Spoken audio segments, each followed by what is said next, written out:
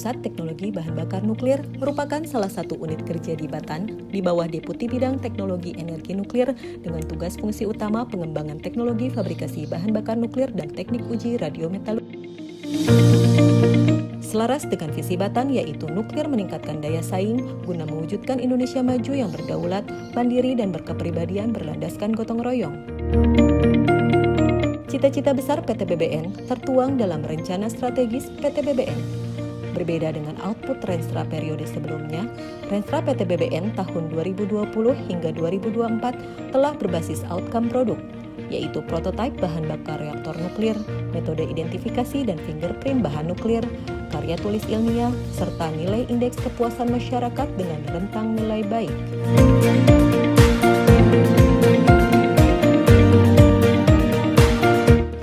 Roadmap PT BBN di tahun 2020 menghasilkan data riset, 2021 konseptual engineering design, 2022 basic engineering design, 2023 detail engineering design, dan tahun 2024 menghasilkan prototipe bahan bakar reaktor nuklir.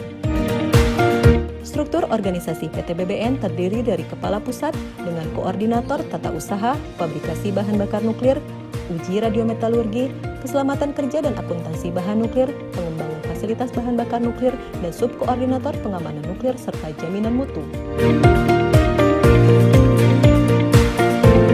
PT BBN memiliki beberapa fasilitas, yaitu instalasi elemen bakar eksperimental sebagai fasilitas penelitian dan pengembangan bahan bakar reaktor daya dan reaktor riset.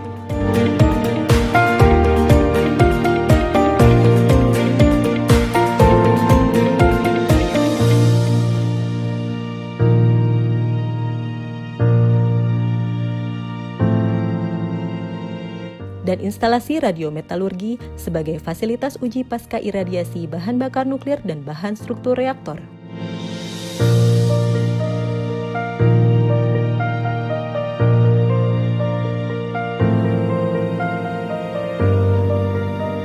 Kedua instalasi tersebut dilengkapi dengan beragam fasilitas pengujian dan kalibrasi, untuk membantu memenuhi kebutuhan masyarakat dalam hal jasa analisis, PT BBN memiliki layanan jasa berupa pengujian, kalibrasi, dan konsultasi.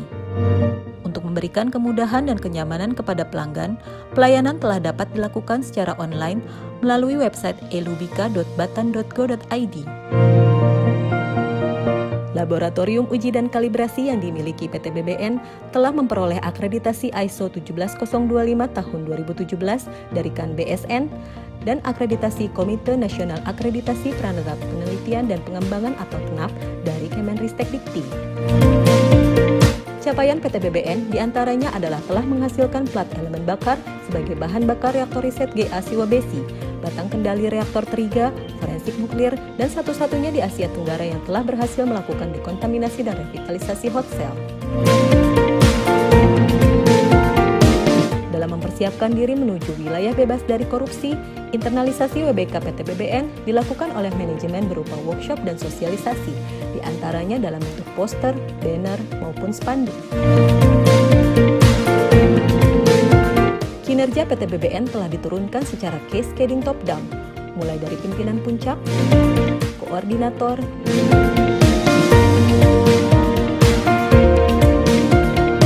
subkoordinator,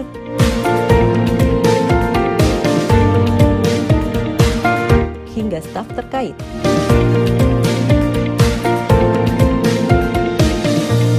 PT BBN berbenah diri dalam hal pelayanan dengan menyiapkan fasilitas berupa papan penunjuk arah, ruang publik, ruang pengaduan, ruang laktasi, dan jalur untuk disabilitas.